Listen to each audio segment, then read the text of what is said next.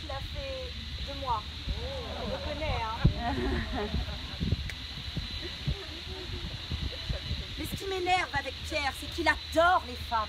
Il adore les femmes et un petit peu trop à mon goût. D'ailleurs, vous, madame, votre silhouette m'est familière.